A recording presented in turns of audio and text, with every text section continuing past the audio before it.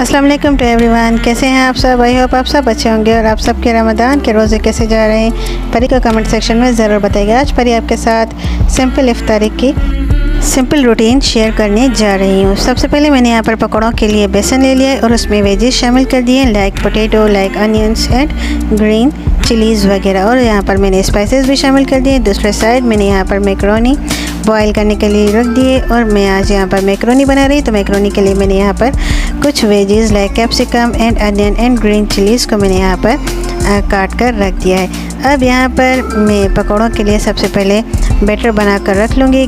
Spices में मैंने यहाँ पर just red chilli powder salt and coriander powder डाल कर और उसे अच्छे से मिक्स कर लिया है। तो पकौड़ों के लिए हमारा यहाँ पर बैटर बिल्कुल रेडी है और यहाँ पर मैं अब पकौड़े बनाने स्टार्ट कर चुकी हूँ। तो यहाँ पर मैंने पैन में एक ही बार में तकरीबन फोर टू फाइव वेजेस डाले हैं। और दूसरे साइड मैंने मैक्रोनी बनाने के लिए वेजीज एंड स्पाइसेस पैन में शामिल करके और इन्हें सोटे कर लिया था। फाइनली ये सोटे हो जाएँगे तो मैं यहाँ पर मैक्रोनी इसमें शामिल कर दूँगी।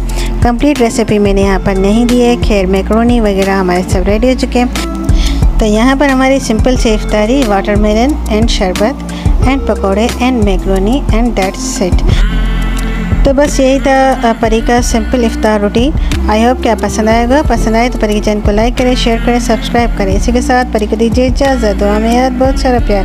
अल्लाह हाफिज़।